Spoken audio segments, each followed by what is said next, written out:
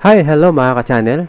Welcome sa ating online classroom tutorial. I am Prof. Bani at ang pag-uusapan natin ngayon ay tungkol sa isang pasasalamat, no? Pero bago ang lahat, nais ko munang batiin kayo ng Happy, Happy New Year sa inyong lahat. Okay, ngayon ang sabi ko, isang pasasalamat sa inyong pagsuporta sa aking channel, no? Ang Prof. Bani. Hangad ko na tuloy-tuloy pa rin ang inyong mga natututunan sa panahon ng pandemya sa pamagitan ng uh, channel na ito. No?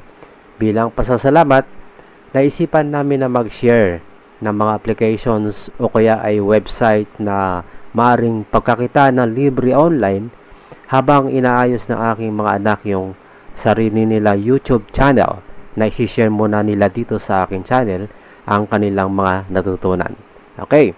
Uh, at magpo-post din sila na no, magpo-post kami ng mga tutorial na may kasamang uh, libreng online opportunities. Kaya subscribe na no uh, para ma-updated kayo sa mga susunod na post.